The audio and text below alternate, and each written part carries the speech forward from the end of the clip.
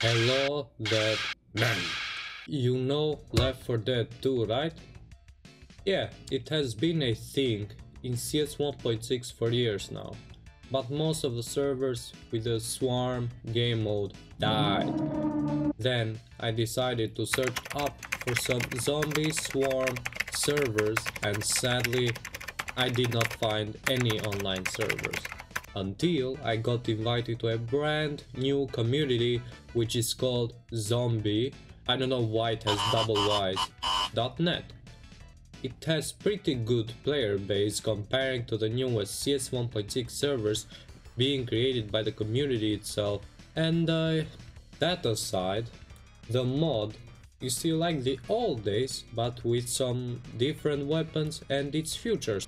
However, you can make your own suggestion on their Discord server, which is in this video's description. Thank you for watching this video man. See you on another one. Peace.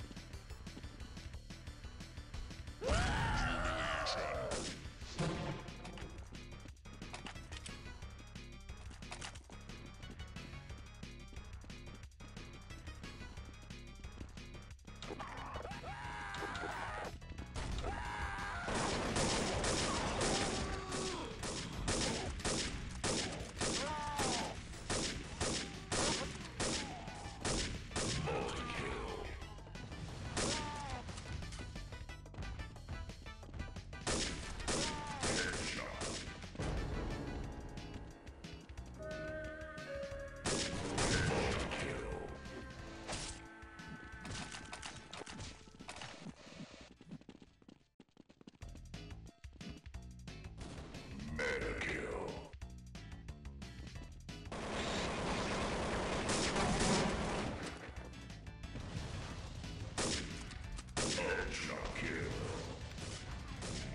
Monster kill.